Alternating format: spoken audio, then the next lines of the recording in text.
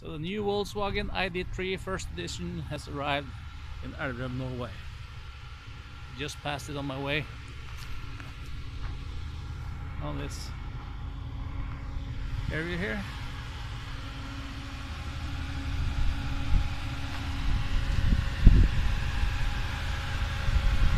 Møller Elverum.